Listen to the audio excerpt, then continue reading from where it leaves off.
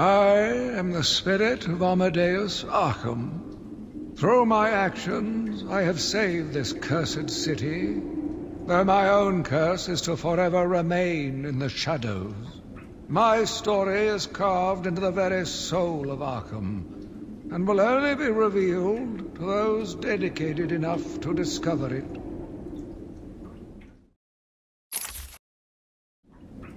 My family's blood ran through the heart of Gotham. We were doctors, politicians, and teachers. We have been the organ cleaning the arterial filth from the city. We have been its servants, giving all to protect it. And still it has chosen to hurt us.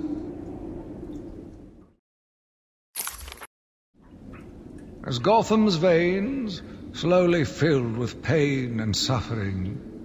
The effects were felt everywhere. My father fell first, infected by some foul disease.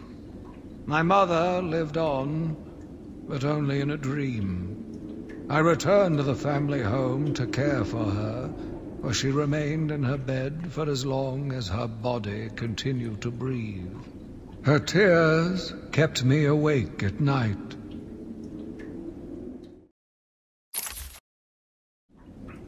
My journey lasted little over a month. Visiting academics in both Metropolis and Keystone, I was exposed to a wealth of new ideas. I began my day returning home in good spirits, eager to see my wife and family. I ended it kneeling in their blood, broken fragments of my life, pouring through dripping red fingers. I returned to my work, but I could not shake the pictures from my mind. I should have been repulsed, but I was more eager than ever to find an explanation for why someone would do this. They brought the animal before me, shameless and barking like a mad dog. For what felt like days, I endured his boasts. He took pleasure recounting his actions, cataloguing his depraved crimes. What should have been revenge turned to pity. This poor dog needed my help.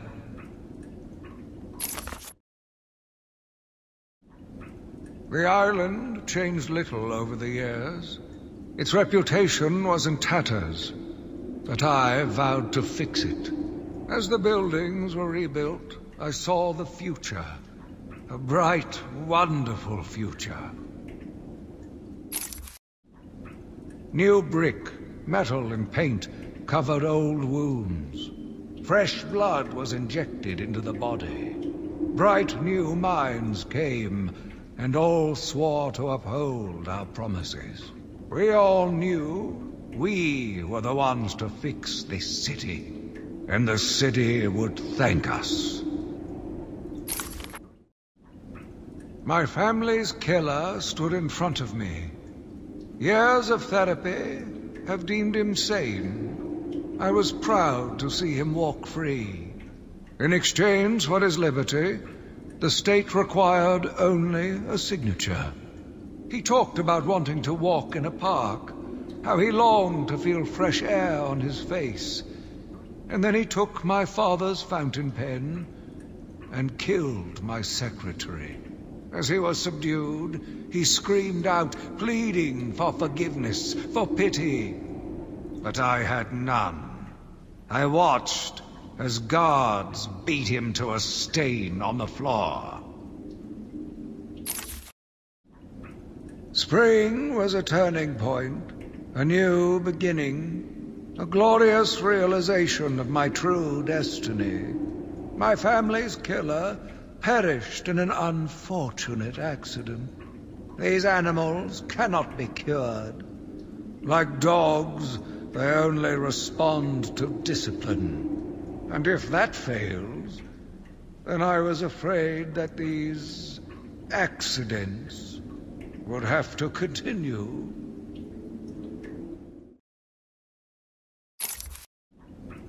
I took a walk around my island.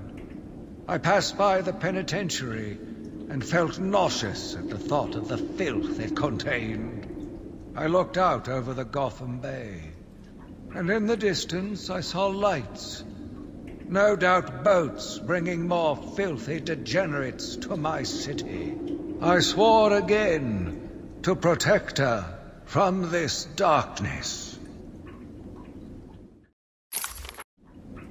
I argued with the latest group of young, eager doctors.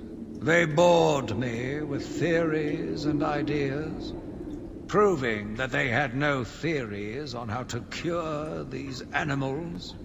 Only one shared my vision. I offered her the chance to explore her dreams. She accepted. We'll make a good team. The Gotham police dragged a new patient to the island. They said he was responsible for the disappearance of hundreds of the city's vagrants.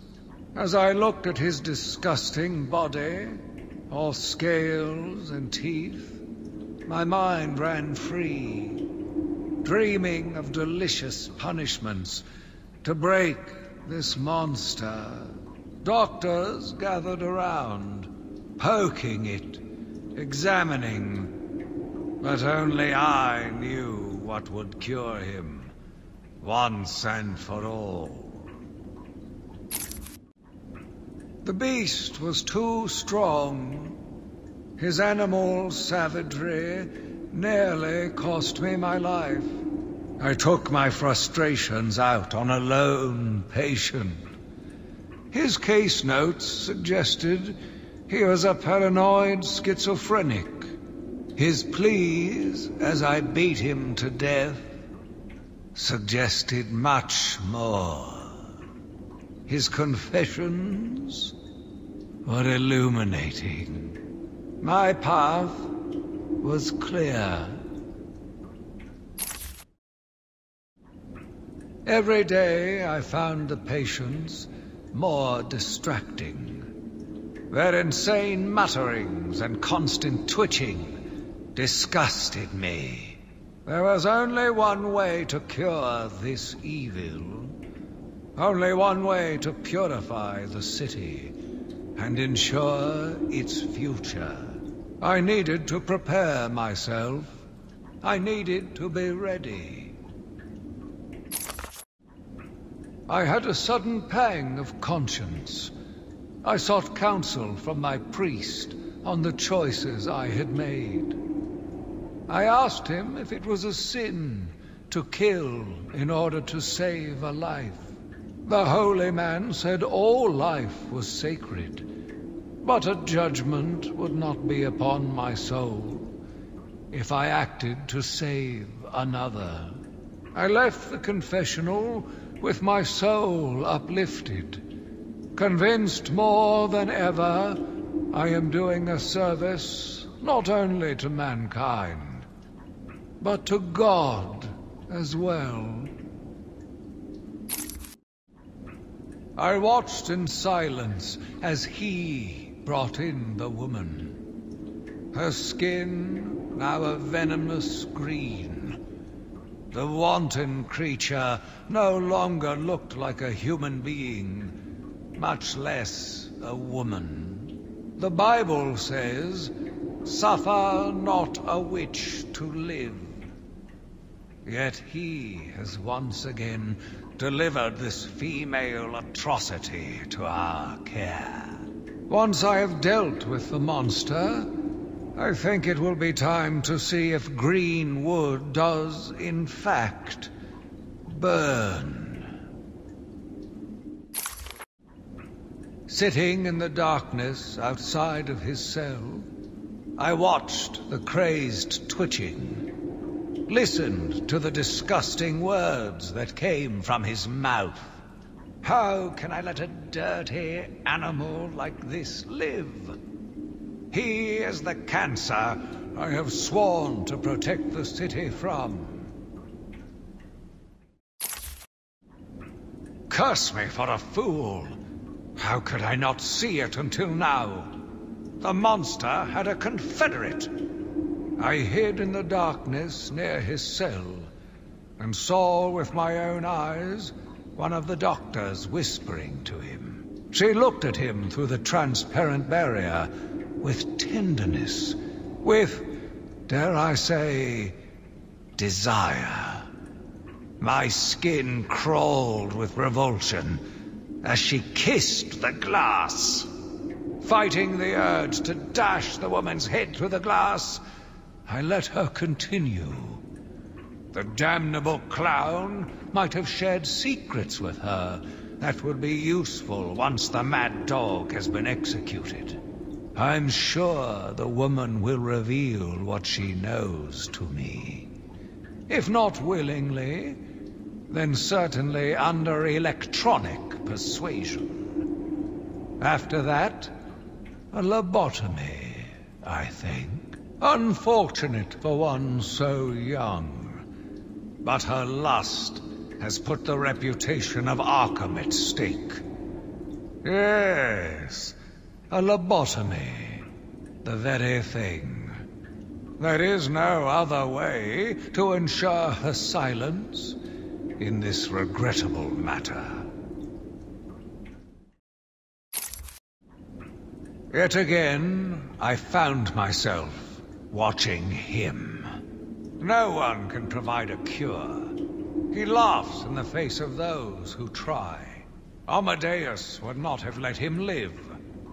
And neither should I. One last sip of cognac, and I was ready. He watched as I entered the cell. He smiled as I showed him the knife. I told him how I will use it, how I will cleanse this city. And then... terror. I was paralyzed. I struggled. I screamed, but I was silent. The monster looked at me, expressionless. He ran my blade slowly across my forehead. A smile cracked across his horrible porcelain face, and I heard the filth fall from his mouth. He laughed and called me that horrible name. It must have been Crane. Another one who doesn't deserve to live. Why do these people thrive on chaos? Joker, in particular, desired anarchy. And since his escape will no doubt wreak it upon my city, I feel this is the end for my diary. Joker will be recaptured. My story will be told. I am not afraid.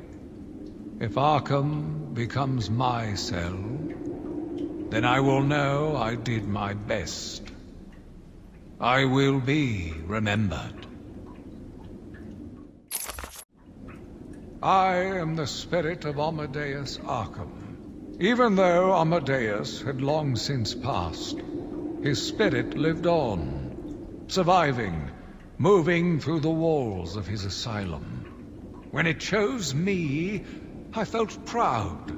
I was honored to continue his work, to cleanse this city. If you are strong-willed enough to follow my tales, you are strong-minded enough to deduce my identity. Come and find me, friend. Together, we will save Gotham.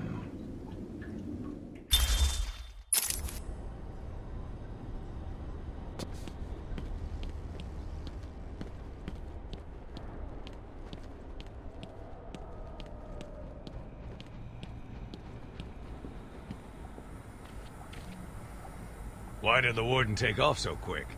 I thought you told him to stay put.